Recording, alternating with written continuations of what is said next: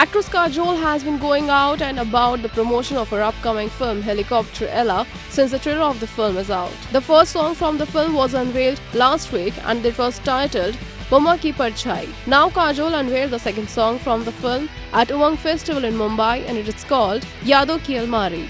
In the song, Kajol is seen entering in her son's college and moreover, she also remembers her younger days when she enjoyed her time with the love of her life and also making a career out of singing. This song will give you a retro vibe. The talented actor in the song nails both the look as a mother and also a young woman. At the song launch, talking about Yaadon Ki Almari, Kajol said, I loved it. I loved it. I think even he loved it. But uh, I was like, but aren't we going to do some sort of a music video or something on it? Iske upar to music video hona chahiye. I think uh, instead of just putting it in the film.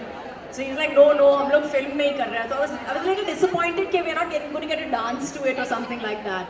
Produced by none other than Ajay Devgn, the film is set to release on 7th of September this year.